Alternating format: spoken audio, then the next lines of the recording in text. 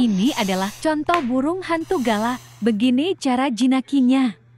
Syarat wajib yang harus kalian dengarkan. Jangan pernah dikurung seperti ini, karena burung hantu tidak suka dikurung.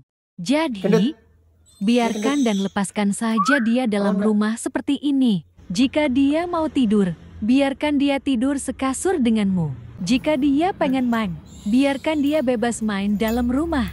Jika dia mau mandi, biarkan saja dia mandi di kamar mandi. Jika dia mau makan, biarkan dia makan favoritnya. Kalau waktu minum, berikan dia minum yang layak. Equil misalnya, kalau waktunya ngopi, tawarin dia kopi. Mungkin dia minat. Itulah kenapa gendut gak galak sama sekali.